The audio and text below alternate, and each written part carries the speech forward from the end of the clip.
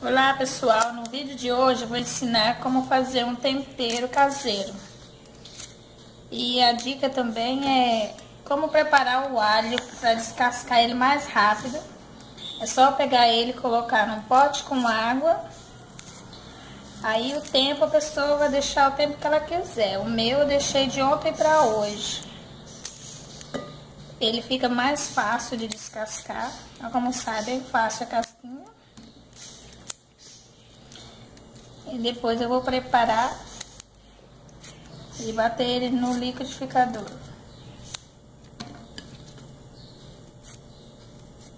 Olha como descasca, facinho o alho molhado. Deixa eu pegar esse aqui. Esse aqui ficou de um dia pro outro, está molinho assim, ó. Mas nem precisa ficar muito tempo. Esse aqui é aquele tempero caseiro. Então, aqui tá pronto meu, meu alho, já descasquei ele todo. E também vou acrescentar no meu tempero cinco pimentas de cheiro, picadinha. E uma cebola, vou colocar só uma cebola porque na hora de eu fazer o tempero na panela de fritar, esse tempero começa a espirrar por causa da água da cebola. Então, por isso eu vou acrescentar uma cebola no meu tempero. E também vou colocar umas pitadinhas de orégano para dar mais um saborzinho. Agora a gente vai pro liquidificador bater esse tempero. Já bati um pouquinho dele, agora eu vou acrescentar o restante. A gente vai pegar mais. Começar aí. Aí vou batendo e mexendo. Vou colocar logo tudo. Daí é só ir virando ele.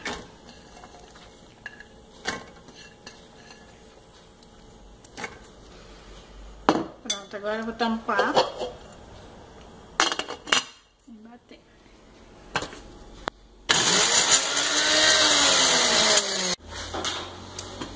Então, aqui já terminei de bater o, o alho. Olha como ficou. Tem que ter paciência para bater ele sem, sem água. Mas eu acho que pode colocar um pouquinho de óleo para ficar melhor. Agora eu vou colocar o, o sal nele.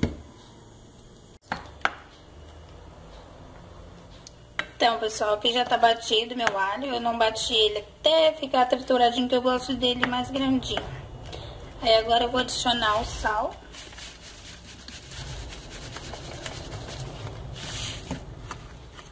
Mexer.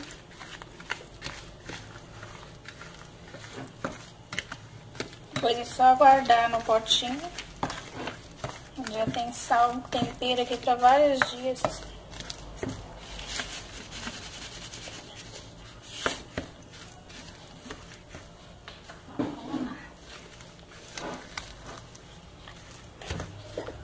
Derramando fora.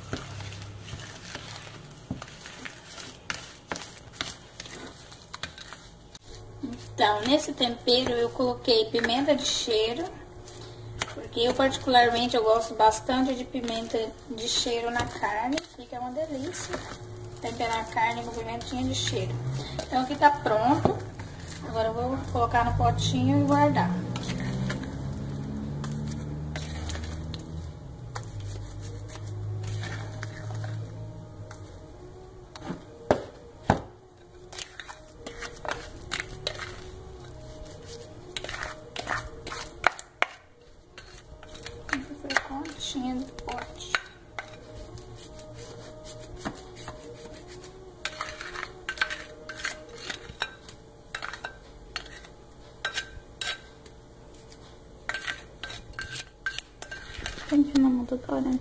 Gente, aqui está o meu tempero.